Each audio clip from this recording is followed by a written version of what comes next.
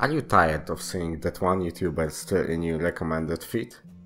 You really hate that one video and don't wanna see anything related to it again? We at YouTube HQ have a simple answer to that. Introducing subscribe button.